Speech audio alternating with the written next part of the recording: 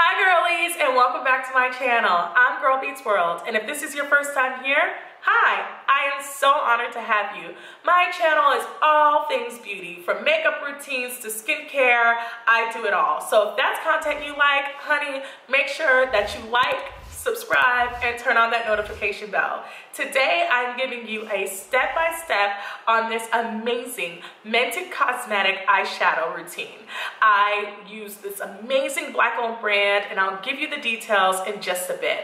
I also show you how to get this perfect red lip using any red lipstick products that you may have around the house. So let's not waste any more time. Let's get started. So as you can see, I zoomed in so you can get right up on my face so you can catch all the details of this beat. I have also already done one eye so I can talk you through quickly and get through this other eye with you. And I've also gone ahead and primed my eyes with Urban Decay Primer Potion as well as my Fenty Concealer as a base to make sure we have a smooth and even start. The two palettes that we're going to be reviewing today, as the title says, are from Mented Cosmetics. They came in these gorgeous little uh, compact eyeshadow palettes, so they're perfect for travel. And um, this one is the Macchiato. Um, I did do one eye so you can see the different colors here. We have some of that green, um, some nudes, and a nice shimmer. Um, we're going to be using Barista and Short in this palette today. On the other side, we have Latte, and this is the Pumpkin Spice Latte palette. So you could see all the beautiful colors in this palette here. So I'm excited to play with them. Um, we are going to be using all of the colors in this palette. So super exciting. Um, let's not waste any more time. Let's get into some of these looks and I will explain everything that I'm doing as I go and I'll also explain what some of my first impressions are after using this palette for the first time. Okay, so first we're going to start with Barista. Barista is that nice light brown. I will be using mostly blending brushes throughout this look. I do try to like limit how, how many blending brushes I use, but, uh, or how many brushes I use on a regular, but today we need all the blending brushes we can get because we're working with a good amount of colors. Um, this look was more subtle, but to be honest, it was a little boring. So I wanted to really showcase all the different looks you can do with this. So just tapping in this color here. I'm actually gonna zoom out a little bit because I feel like you guys, I'm like, you gotta tilt your head up and back and um, to really see that formation that you want. And I'm not going to go too far on the inner corner of the eye. We kind of want it to just kind of fade out a little bit. So you can see that this is very highly pigmented.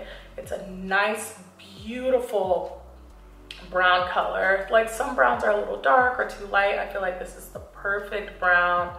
Um, and I'm just going to do like small circular motions in my eye, um, on the eye, not in it, like so. So small circular motions. And then we're going to jump to the latte, latte palette. We're gonna switch to another blending brush. The uh, first blending brush I used was from Morphe. This is from Sigma. I'm gonna be bouncing back and forth between them. This is a smaller brush because I wanna get right into the middle here, uh, the outer corner of the eye, and just blend that outer corner up into the top part. And the thing is, is that you bold is in, but in a more subtle way. So we're gonna go bold on the outer corner. We're gonna transition using that orange. I did use like, I did start with like a softer look, but it was just too soft. I was like, I don't know. I feel like I want them to be able to see all of these amazing colors and you know, really get to experience what Mented Cosmetics has to offer.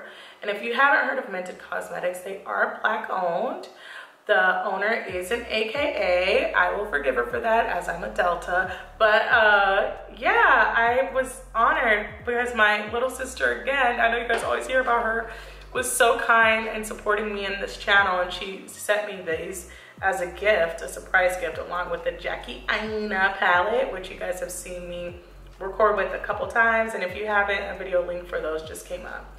So just blending all those colors together to make a nice smooth transition. Now jumping back into that macchiato palette, I'm using a flat eyeshadow brush and I'm going to tap into the color short and I'm just going to gently place the shadow on my eyelid. So just tapping it in and you can see it's very flesh tone, which I like. We're gonna tap all of this in we're gonna pull this out because again, you just want it to kind of like fade into each other. This is coming out a lot better. Um, this palette, these palettes, because there's two, I do like the colors. I do like the ease in being able to put this in. Mented was created with women of color in mind, so I'm not surprised that it's very pigmented and you can see the colors very well. Now that we've placed um, this short on the inside, I'm going to use the color um, Crema. Crema? and I'm going to place that on the inner corner of the eye and just kind of right on top of that lid as well. I'm using the same eyeshadow brush that I used before. So just applying that in the same motion. This is just to add to a shimmer. It's not the star of our show, right? So like you can leave this matte, but I wanted to show you guys all these different colors, so I decided to tap into that as well. I'm taking this flat Patrick Sigma brush and I'm tapping into those orange colors from that um, from the beginning and it's double shot and iced. So I'm tapping that right into the inner corner of my eyes, going a little heavier with double shot because I want it to really show. I'm not gonna lie, I was a little disappointed with this orange. I definitely thought it was gonna show up a little more pigmented than it did, but I think it's okay. Um, it's not like washed out like other palettes, so I'm happy with it, but it's definitely not as bright as some palettes like Juvia's Place or another palette, but I do like it. Um, I do feel like the shadows come a little flat for my taste. Like the finished product just, I don't know, like you it just falls a little flat for me, but um, that's probably some of the constructive criticism I would use. But if you're just beginning, you wanna support black owned beauty companies, which we all should, um, this is a great way to do it a great way to do it. So you guys know we always blend everything out. We don't want any harsh lines. We're looking for those small circular motions to be able to do that. And it's always that like tough call of like over blending. You know, you don't want to over blend because you want to keep that color. But you definitely want to make sure that there are no harsh lines. So yes, looking very pretty, looking pretty symmetric, which is always good. You always want it to look like the other side, you know? Um, but yeah, I love how everything's melting into one another and I feel like it looks very smooth. Now that we've placed everything, I want to go in and with that barista again. I am not using the right brush. Going with barista and just Again, make sure everything's nice and smooth at the top and easily colored. Because next, you've probably seen this trend a little bit um, of this of like highlighter being used in eyeshadow and on the lids to help highlight the face even more. So we're going to do that. I'm spraying a little bit of my MAC Cosmetics setting spray. I'm going in with my Fenty Beauty and I'm first going to do the inner corner of my eye and get that nice pop there. I went a little heavy, got a little messy, but it's okay, I'll clean that up later. And then um, I followed up with going on top with a little master chrome. I know we're almost all like black owned, black led uh, brands, but we gotta do what we gotta do to get the look, you know? So this nice pop here. And then I'm going to use some more of that to just highlight the this little area of the brow.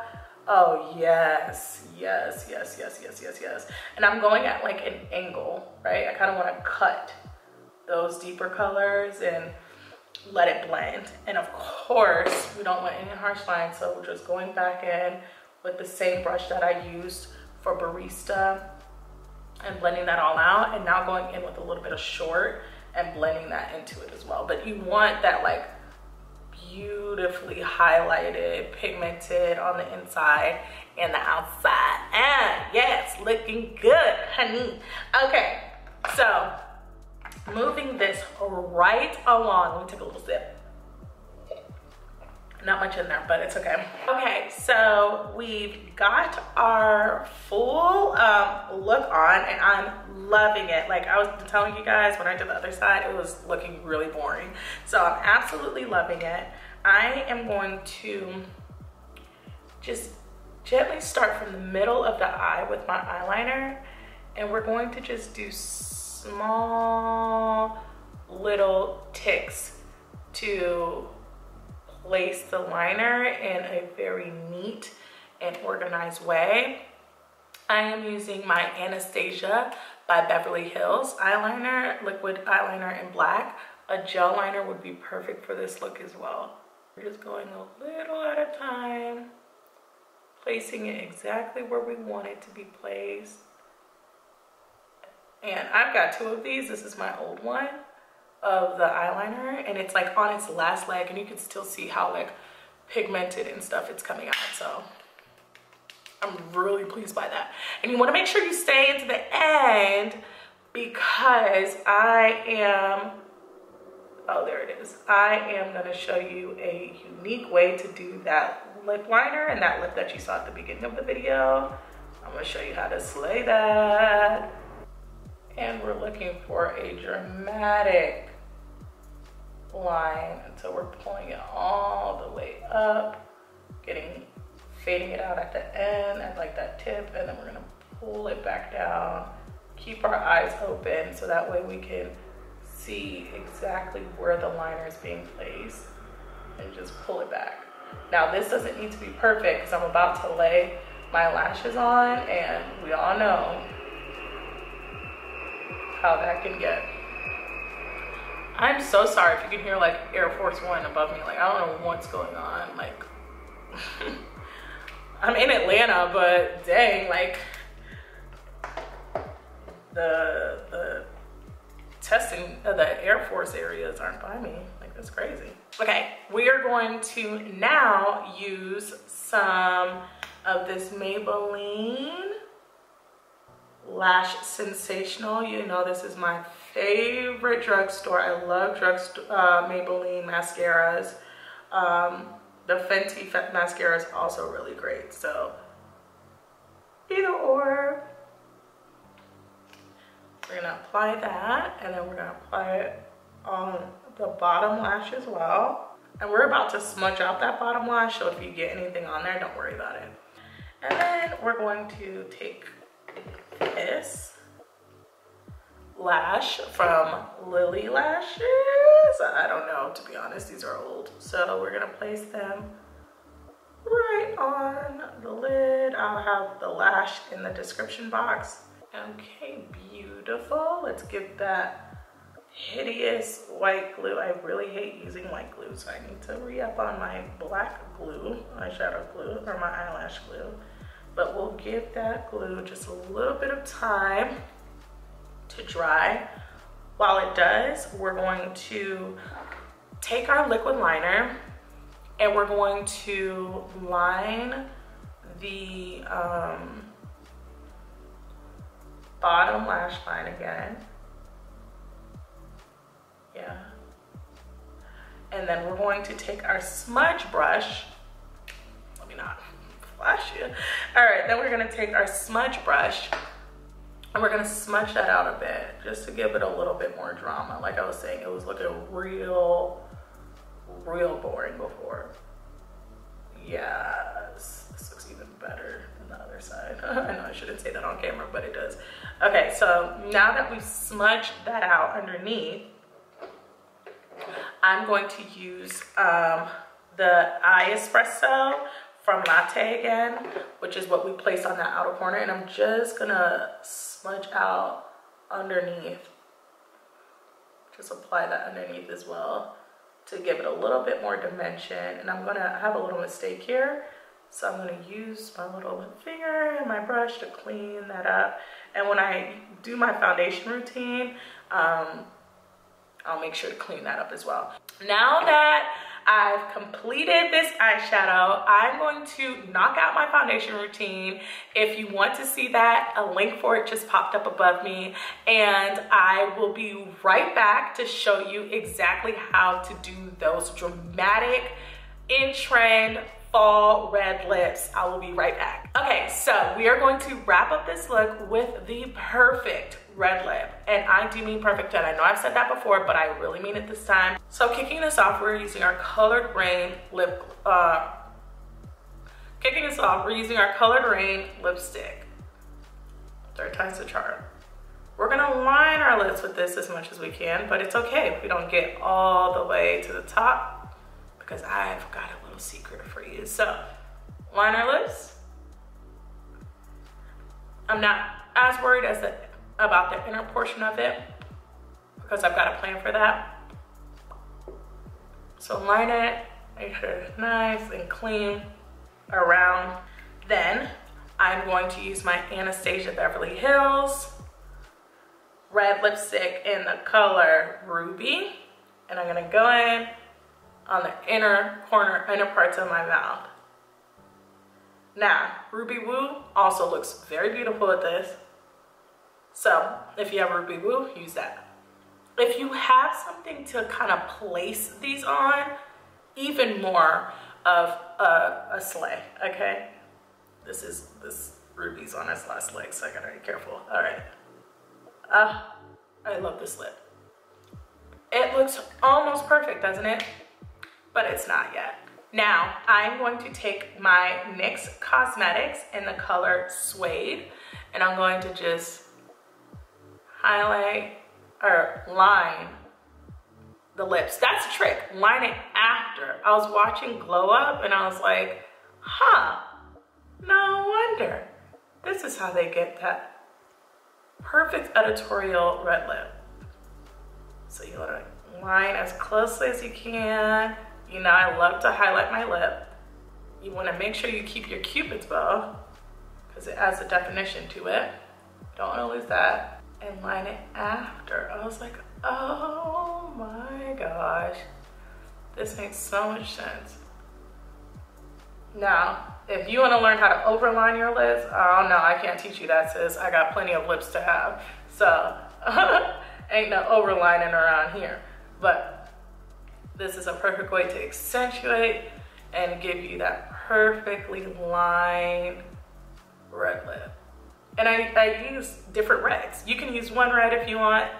Uh, for me, these are the ones that blend the most perfectly. Voila.